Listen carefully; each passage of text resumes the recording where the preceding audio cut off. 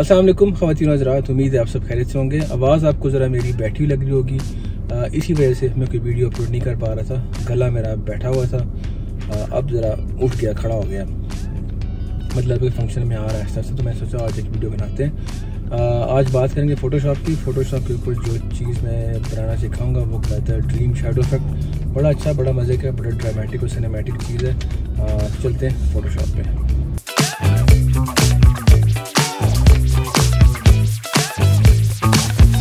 Dream text effect के लिए सबसे पहले यहाँ पे लिखूँगा मैं टेक्स्ट और मैं लिखूँगा ड्रीम और इसको मैं करूँगा रीसाइज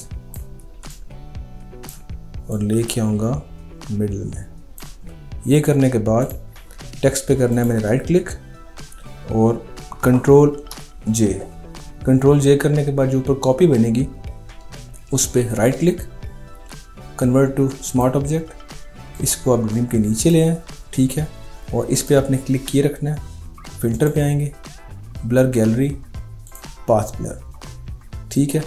इसके बाद बेसिक ब्लर है और रेयर साइंक फ्लैश है। आपने रेयर साइंक फ्लैश पे क्लिक करना है। स्पीड को करना है हंड्रेड और टेपर को करना है समवेयर यानी एटीन ट्वेंटी ठीक है? ये करने के बाद यहाँ पे आप आएँगे। और यहाँ से आप ऐसी इसकी करें सेटिंग टेपर काम क्या है? ये टेपर का काम है। जहाँ भी आपको मुनासिब लगे, वहाँ पे रोक दें। मेरे लिए शायद ट्वेंटी अच्छा था ये। ठीक है, ये करने के बाद मैं थोड़ा इसको मज़ीद इस तरफ़ मूव करता हूँ ताकि वाकई ड्रीमी सी लुक आए। ओके डन हो गया। अब खाली यहाँ नहीं है, हम इसका कलर भी चेंज कर सकते हैं। मैं ड्रीम का कलर चेंज करता हूँ।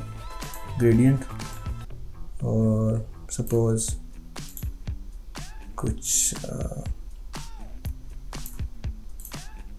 इस तरह का कलर और नीचे जो उसकी एक जो वेव्स आ रही हैं, वहाँ पे क्लिक करके वेव्स के ऊपर क्लिक करेंगे। नीचे वेव्स का कलर भी चेंज हो जाएगा। आप कुछ भी अपनी मर्ज़ी से जो आपको पता अच्छा लगे, वो आप चूज़ कर सकते हैं। तो ये था तरीका।